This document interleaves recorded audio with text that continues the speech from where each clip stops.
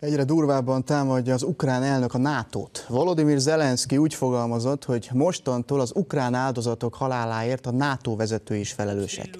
Zelenszky azt a döntést nem tudja, vagy nem akarja elfogadni, hogy a NATO nem küld csapatokat Ukrajnába, és nem létesít repüléstilalmi övezetet az ország felett. Zelenszky gyávasággal váltolta emiatt a nato -t. A NATO főtitkára azt mondta, hogy megérti, hogy az elnök elkeseredett, de nem akar teljes körű háborút Európában.